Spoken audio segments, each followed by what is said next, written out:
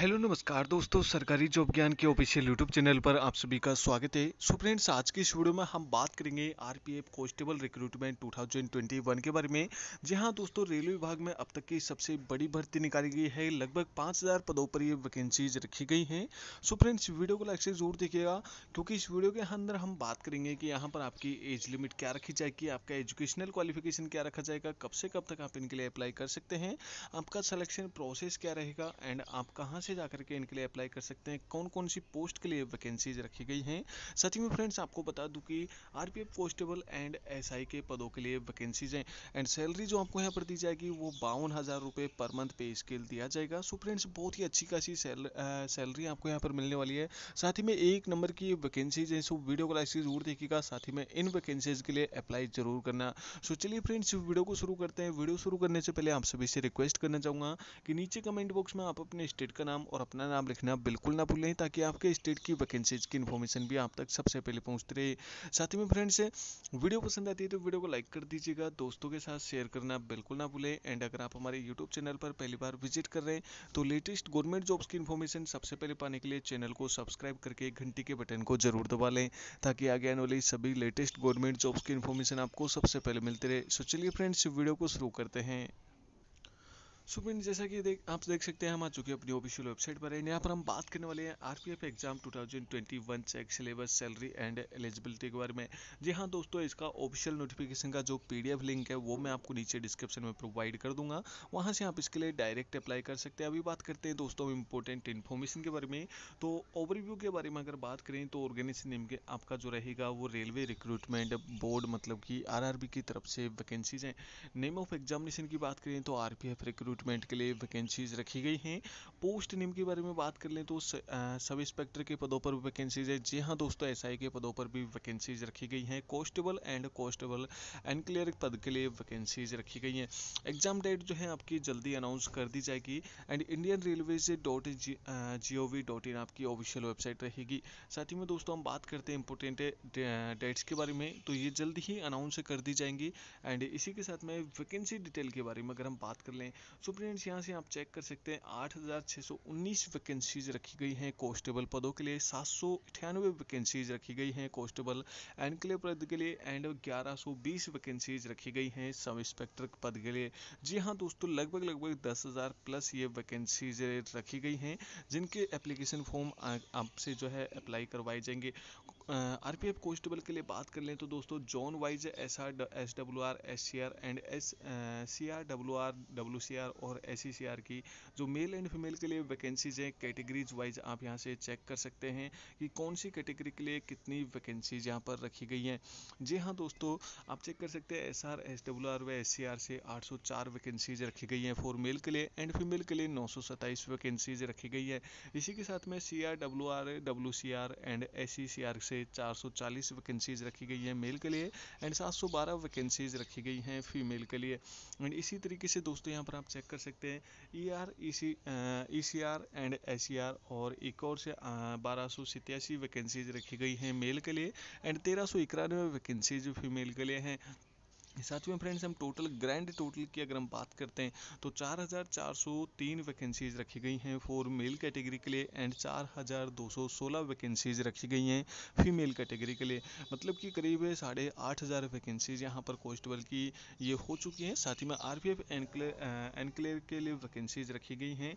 Trades name आप यहाँ से चेक कर सकते हैं। एंड ग्रुप कौन कौन से हैं? A B C D E F से यहाँ पर वैकेंसीज रखी गई हैं जिनमें आप जो है जोन अपने जोन का नाम देख सकते हैं।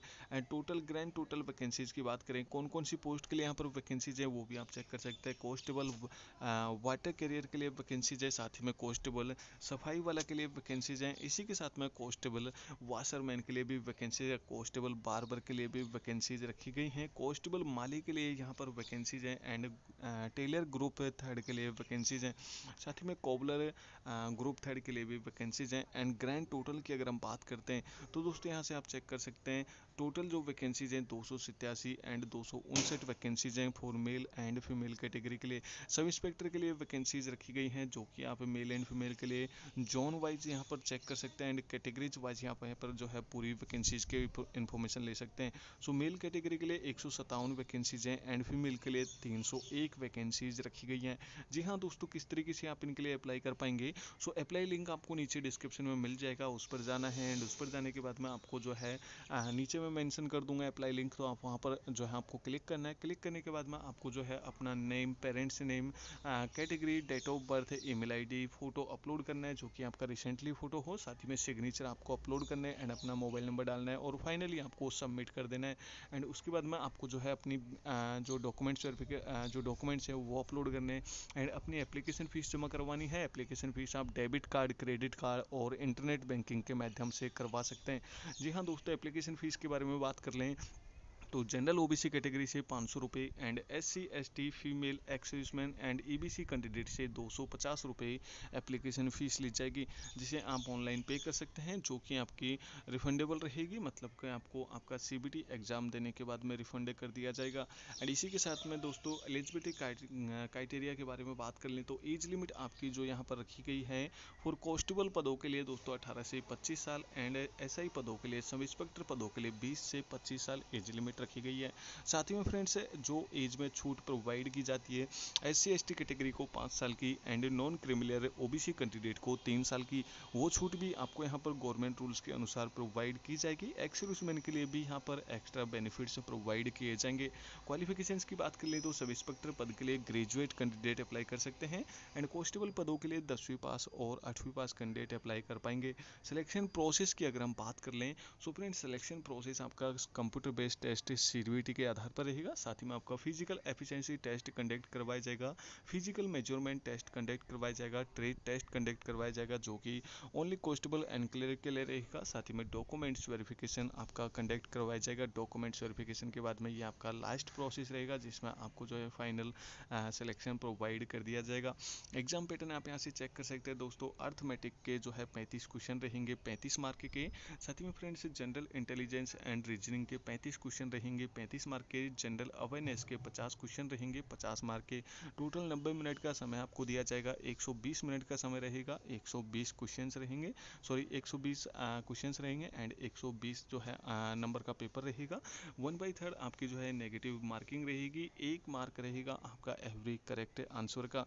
साथ ही में फ्रेंड्स यहाँ से आप जो है इसकी जो सिलेबस है, वो चेक कर सकते हैं कि इसमें जो है कौन कौन सा सिलेबस आपसे यहाँ पर पूछा जाएगा। सो वो पूरी की पूरी जो है सिलेबस की इन्फॉर्मेशन आप नीचे डिस्क्रिप्शन में दिए गए लिंक से डाउनलोड कर सकते हैं। सैलरी की अगर बात कर लें तो दोस्तों आपको जो आर कॉन्स्टेबल के लिए यहाँ पर सैलरी मिलने वाली है, जो आपका सैलरी कॉन्स्टेबल का जो बेसिक सैलरी होता है, वो इक्कीस हज़ार सात सौ रुपये होता है। एंड साथ ही में फ्रेंड्स जो आपके जो इतने भी बेनिफिट्स वगैरह हैं मतलब कि जो भी अकोमोडेशन वगैरह सब कुछ मिला करके आपका बत्तीस हज़ार रुपये आपको जो है इन हैंड यहाँ पर सैलरी मिलने वाली है। ऐसा ही कैटेगरी के लिए दोस्तों आपका जो है पैंतीस हज़ार चार सौ रुपये बेसिक सैलरी होती है एंड ऑल एडिशनल पेक्स मिला करके बावन हज़ार रुपये तैंतालीस हज़ार से बावन हज़ार रुपये आपको इन हैंड सैलरी यहाँ पर मिलने वाली है। सैलरी की पूरी इन्फॉर्मेशन आप जो है नीचे दिए गए लिंक से ले सकते हैं। सो फ्रेंड्स ये थी हमारी आज की टॉप लेटेस्ट बड़ी भर्ती। वीडियो किसी लगी है, नीचे कमेंट करके जो बताइएगा। वीडियो पसंद आई तो लाइक कर दीजिएगा। दोस्तों के साथ शेयर करना बिल्कुल ना भूलें। एंड अगर आप हमारे यूट्यूब चैनल पर पहली बार विज़िट कर रहे हैं तो लेटेस्ट गवर्नमेंट जॉब्स की इन्फॉर्मेशन सबसे पहले पाने के लिए चैनल को सब्सक्राइब करके घंटी के बटन को ज़रूर दबा लें, ताकि आगे आने वाली सभी लेटेस्ट गवर्नमेंट जॉब्स की इन्फॉर्मेशन आपको सबसे पहले मिलते रहे। सो चलिए फ्रेंड्स इस वीडियो में सिर्फ़ इतना ही। मिलते हैं अगली वीडियो में। इस भर्ती से संबंधित पल पल की अपडेट के लिए चैनल को सब्सक्राइब करके घंटी के बटन को ज़रूर दबा लें। एंड इसी तरीके की लेटेस्ट वीडियोज़ की अपडेट मैं आपके लिए लेकर के आता रहूँगा। सो चलिए फ्रेंड्स इस वीडियो को यहीं पर समाप्त करते हैं। नेक्स्ट वीडियो में मिलते हैं। Tata take care bye bye